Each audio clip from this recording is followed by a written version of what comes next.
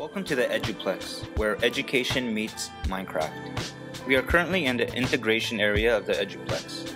Today I will be showing you my electric circuit museum, and this museum is part of a 4th grade science unit based on the energy standards of the next generation science standards. Students will be able to make observations to provide evidence that energy can be transferred from place to place by sound, light, heat, and electric currents, and apply scientific ideas to design, test, and refine a device that converts energy from one form to another.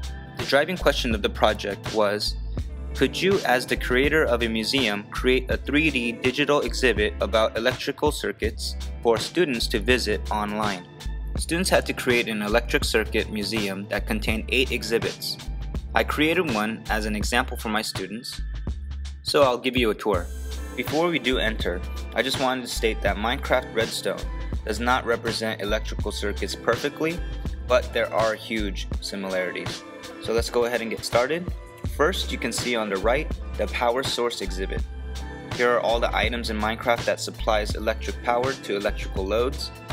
Across this exhibit is the power source and switch exhibit. It showcases all the items that both supply electric power to loads but also has a switch function that can break an electrical circuit. Here is the electrical loads exhibit. These devices can be powered by a power source, basically all the items that can be turned on in Minecraft. Next is the series circuit exhibit. Students use this portion of the museum to explain how the current, or the flow of electrons in a circuit, travels from the negative terminal of the battery to the load, then back to the positive terminal of the battery. Here's the switch that opens and closes the circuit.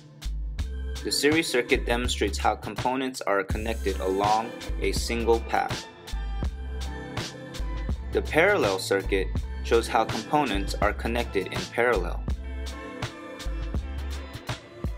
The next exhibit is the electrical cord exhibit. In Minecraft, the redstone functions more as an electrical cord than a simple wire. Imagine it having two insulated wires. The electrical currents start at the source travels through one wire all the way to the load, then travels back in the other wire. On the left are some examples of connected power sources and electrical loads in Minecraft.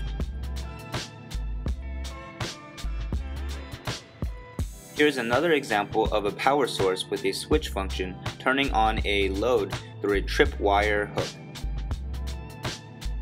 Finally, the rooftop area is the machines exhibit. Students were allowed to use what they learned about circuitry to create their own machines. Here I've created a harvesting machine designed by Dr. PlayStation Nation, a trading machine by Mr. Crayfish, stairs with hidden treasure by Dr. PlayStation Nation,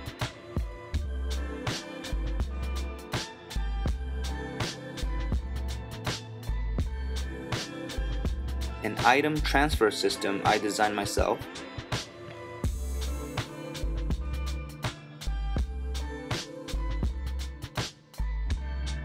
And my favorite, the automatic armor machine that suits you up with the press of one button. This one was designed by Column K Minecraft. Well, thank you so much for going on the tour with me. I hope you will try it yourself at your school. Thanks for watching. Bye.